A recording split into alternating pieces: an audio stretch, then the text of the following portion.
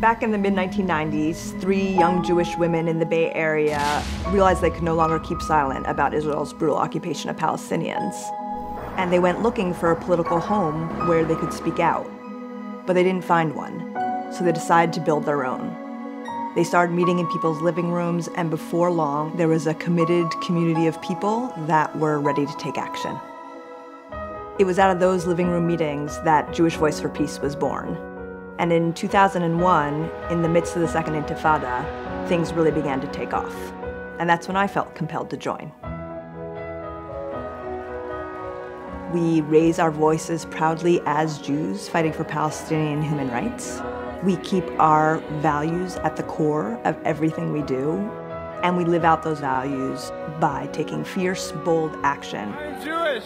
I support Palestinian human rights. A lot has changed since then. We've become a national organization. We have more than 70 chapters all around the country. We have several hundred thousand supporters online. And we're still meeting in living rooms, but we're also filling auditoriums. Our actions have spread across the country. We span every generation. And our partnerships only deepen.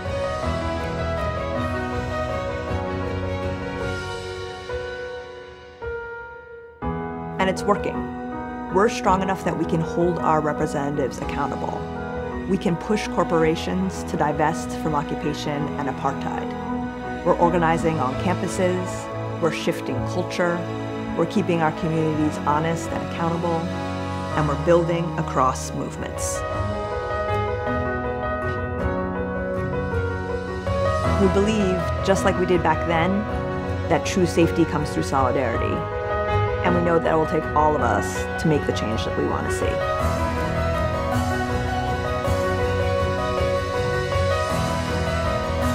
We're helping to build a broad-based movement for Palestinian rights and a Jewish community that supports it. Together for freedom. Join us.